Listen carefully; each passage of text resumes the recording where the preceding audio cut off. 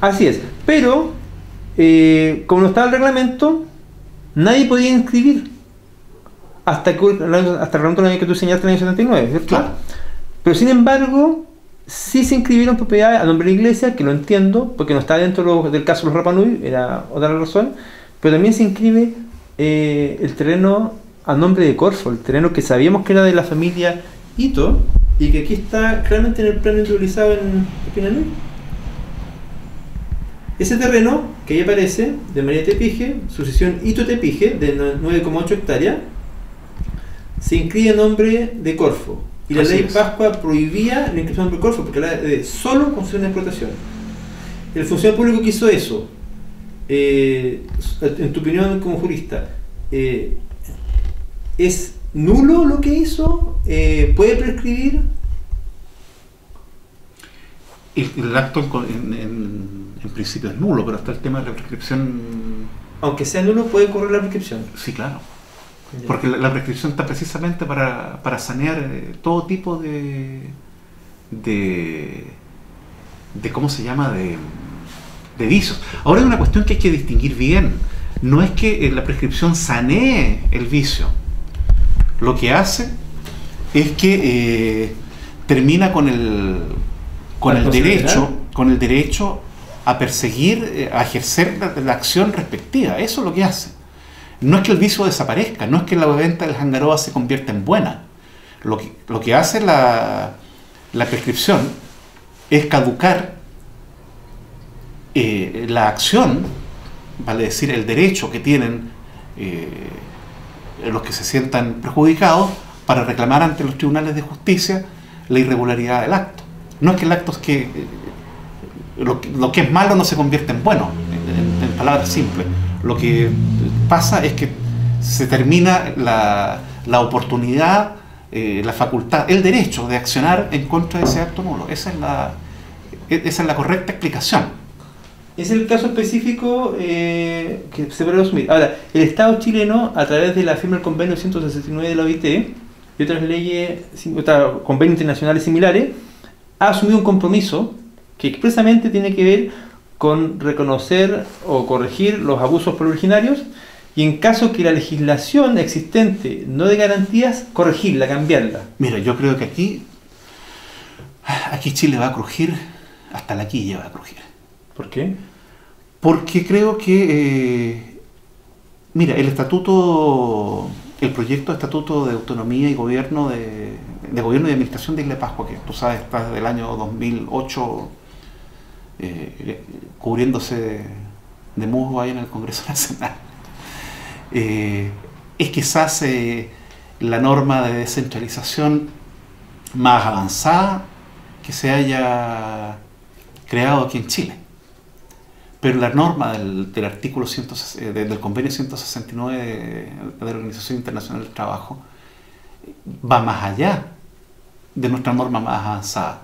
Yo creo que esto va a, a remecer eh, a los sectores más eh, conservadores de Chile, los que sostienen eh, una teoría de una homogeneidad cultural y, y étnica que, que es cosa de salir a la calle para darse cuenta que, que no existe más que en la imaginación de, de algunos interesados.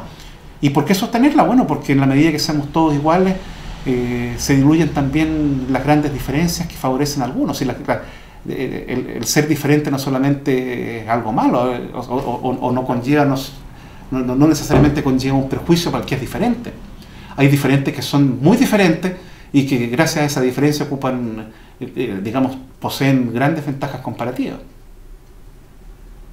Eh, es una cuestión, creo que en, la en- en el fondo eh, esta homogeneidad cultural y, y- étnica que algunos pretenden mantener es nada más que mantener el río revuelto para ganarse algunos pocos pescadores. Definitivamente. Es lo que yo creo al menos. Entonces, este, este, este, este, con- este convenio le reconoce a los pueblos originarios eh, derechos que yo diría que ciertos sectores conservadores de Chile, ciertos sectores patrioteros de Chile, no están dispuestos no están dispuestos a reconocer. O sea, vamos a tener que decir de que aquí no hubo una, una pacificación de la Araucanía, sino que hubo una ocupación militar de la Araucanía, eh, Es que que, sí fue. que no hubo una extinción de los pueblos australes, sino que hubo un genocidio de los pueblos australes. Y yo, honestamente, la verdad que no sé cómo nos vamos a entender o, o- o qué mirada vamos a tener eh, hacia los aymaras, hacia los atacameños, que si bien Chile no, eh, no los agredió directamente militarmente, pero sí lo hizo contra los estados de Bolivia y de Perú que los contenía antes de la guerra del 79. Con el de los Aymara, eh, ellos ya tenían este tema, si no zanjado, eh, por lo menos más o menos estructurado con el gobierno peruano. Chile heredó una solución que era la peruana, digamos. Con el Yo pueblo- la desconozco, honestamente. con la parte de los. porque ya están inscripciones de tierra, ya había inscripciones de tierra en el gobierno peruano y el, y el Estado chino las reconoció. Y lo que no está inscrito pasó a ser fiscal. Además ellos tenían una gran ventaja, la cercanía con el virreinato. Acá. Chile era sencillamente un lugar, era, el pueblo sin Dios ni ley, pero el Far West del Imperio Español. Ahora, el Imperio Español le respetó del Biobío al sur la autonomía a los Mapuche. a los mapuches. El que comete todos los abusos es la República. Es la República. La República comete los abusos. El Tratado de Antaco expresamente eh, establecía el respeto a la propiedad de los indígenas y De, eso de- no se de cumplió. hecho, el Imperio Español eh, hizo, eh, celebró estos parlamentos, el Parlamento es. Negrete, que Copán, claro. Ahora, en el caso de los australes, lamentablemente no existen cómo defenderse. Pero el caso de Isla Pascua atendía todas estas tristes experiencias previas, porque el último pueblo étnico eh, originario en incorporarse es Rapa Nui, Así es. se tomaron ciertas precauciones. Y fíjate tú Y que, esas precauciones consisten en que la propiedad de la tierra solo la pueden tener los Rapa Nui. Así Es un es. beneficio que ningún otro pueblo originario tiene. Así es. O sea, dentro de lo malo, no, no es tan malo. O sea, a ver, Rapa Nui tiene, un, ti- tiene varias cosas que la distinguen. En primer lugar, tal como tú dices, es, es la última etnia que se incorpora en este proceso de, de anexión. Que además que es una cuestión muy, muy de repente. Si Chile fue entre el Biobío y Copiapó durante 300 y tantos años, Porque eh, a partir de 1860, fíjate que en, en las Chiloé pocas- dependía de Perú directamente. Claro, en las pocas décadas que van desde 1860 aproximadamente hasta 1888, Chile incorpora mapuches, incorpora aymaras, incorpora atacameños, incorpora los rapanui. De repente se convierte, Se expande el Estado. se expande el Estado y se convierte en un Estado multiétnico, que ya lo era, eh, de, un modo más o menos diluido. Pero acá se incorporan etnias que se, se conservaban en un estado bastante, bastante puro, si, se- si es que puede hablarse de este tipo de cosas en realidad.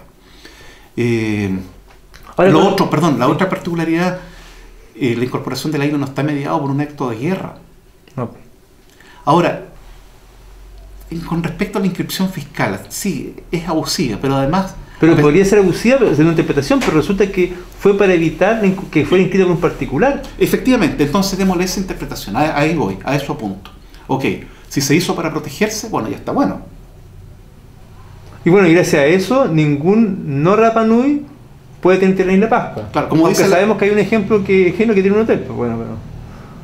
Claro, pero son figuras, eh, figuras extrañas y hasta y, y se pudieron constituir, hay dos o tres particulares que pudieron eh, comprar tierras al fisco de Chile con- en, en la vigencia original del 2885. Pero esos están casados con Rapa Nui tienen. Claro, efectivamente. El, el- el caso emblemático de este señor Álvarez Borda, Claro. que era un funcionario de carabineros que, que, que jubilado se quedó viviendo en la isla de Pascua y que se casó con el Rapa Nui y que su O sea, descendencia... su hija se casó con Rapa Nui. Su hija se casó con el Rapa Nui, por lo tanto toda su descendencia es Rapa Nui y por lo tanto su tierra jamás va a salir de la, de la India. Claro, Un sobrino de él, Carlos Martínez, eh, perdón, Car- perdón, Carlos Vázquez, eh, Carlos Vázquez Martínez, él llega también a la isla, se casa con Rapa Nui y pudiendo haberse cogido ese beneficio, sus hijos son Rapa Nui y todo ok. La diferencia, la única diferencia es cuando por una vía que no es esa, es la que ocupa Hugo Sala, Hugo Salas para comprar el, el Hangaroa. Hangaroa. Y la otra que te quiero preguntar, ya que hay una familia, está la familia Tuki presente, el caso Tuco Tuki. Los papeles los documentos hablan que él tenía 3 hectáreas. Y él entrega una hectárea para que. Ah, va, mostrémoslo. Mostrémoslo, claro. Mostrémoslo. ¿Dónde está Tuco Tuki? Ahí. Está acá. ¿Dónde está? Ahí está. Eso dice Tuco Tuki. El año 1928 él tenía 3,6 hectáreas. Cuando llegan los marinos, eh, para que no se vayan a Mataveri, para, los, para su delegado marítimo que haya sido la autoridad de la época, le ofrece su hospitalidad. Y el barrio cívico se instala en terrenos de él. Efectivamente. Y de repente, sin preguntarle a nadie, aparece un documento donde Tuco Tuki pasa a tener dos hectáreas. O dos hectáreas y media, algo así. Esa que alguien, alguien, sin mediar ningún acto administrativo ni de otro lado, eh, ni ante notario ni nada, le cercenó una, más de una hectárea, que es barrio cívico, a Tuco Tuki. ¿Eso tiene alguna justificación jurídica? ¿Hay algo que pueda avalar una medida administrativa de ese tipo? Sencillamente las, las- las- las- potestades abusivas que tuvieron los subdelegados marítimos durante todo ese, todo ese tiempo. O sea, a mí eso definitivamente, como se dice en buen chileno, me pegan los cachos. Yo viví seis años en un terreno que era que alguna vez fue de Tucotuqui, porque yo viví en el barrio cívico de Jangaroa, en la calle Tomás. Cuando la gente eh, vimos el conflicto el año 2011, 2000, por, el 2011, tema, mm. Por el tema de, aparte de el tema de... Se reclamaron las casas fiscales de esa cuadra. Entonces, eh, cuando me preguntaban y lo publicamos en la página varias veces, eh, no, es el, no son el caso de las casas, es el caso, no son las casas, es el caso. Era una sola familia, un terreno afectado. Así es. Y el, y el, y el Rapanui les hacía, les costaba, si yo o si mi antepasado entrega terreno para los bienes públicos, para que sirva el Rapanui, servicios públicos, entiendo que la en Chile, la empresa, la línea aérea nacional, que nos prestaba casi una ayuda social en la Pascua, porque llevaba gente, traía gente, etcétera, de repente esa también se privatizó. Y actualmente la en Chile ocupa, o, o la empresa que sea, o Entel, por ejemplo, ocupan el- elementos que fueron entregados para el uso público, para un beneficio público, pero para que el Estado hiciera una labor de, patri- de patriótica auxilio de bien social. Pero Bueno. encuentra un privado que explota y que cobra y que y cobra y lucra por eso. digamos. Bueno, piensa tú que Sokimich, que es una empresa que está metida Ah, en el epicentro de los escándalos más grandes que se han conocido en la historia de Chile, era una empresa estatal y llegó a ser una empresa privada. Entonces, bueno, ahí ya se cruzan, se usan otras cosas. claro, se cruzan, se cruzan otras variables. Bueno, y también hubo gente que también donó terrenos con un sentido bien de, de- de bien común. Como por ejemplo, las familias que pudieron que, que contribuyeron a la apertura de la calle eh, no Caitú, la que está más eh, Maque Maque. no la, la- la que va desde la iglesia al, al aeropuerto la eh, Ah, tu coijo. Tuco hijo a ver, Toda.